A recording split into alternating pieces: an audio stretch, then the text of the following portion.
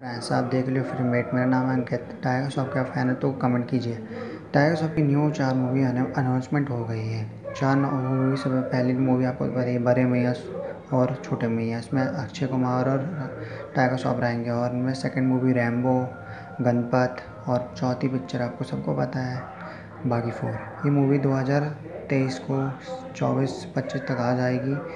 और टाइगर श्रॉफ के फ़ैन हैं तो आप कमेंट कीजिए और कमेंट बॉक्स में बताइए कि इस टाइगर श्रॉफ की कौन सी मूवी का आप वेट कर रहे हैं। ये न्यू मेरे को तो गणपत का बहुत तेज वेट कर रहा हूँ माट फेवरेट मूवी